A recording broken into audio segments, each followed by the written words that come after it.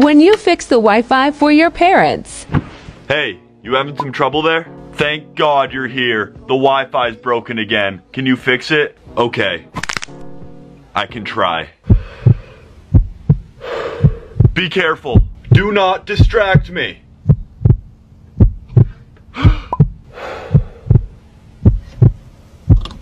Did that work? Oh my god, it's working. You're a genius. How did you do that? All I did was unplug it and plug it back in. It's not that hard. I'm so proud of you. You're so gifted when it comes to fixing technology. You should go to Harvard. I owe you my life. Trust me, it isn't that big a deal. One last thing. The TV is stuck on HDMI 1 and it's supposed to be on HDMI 2. Can you fix that too? It seems impossible. Here we go again.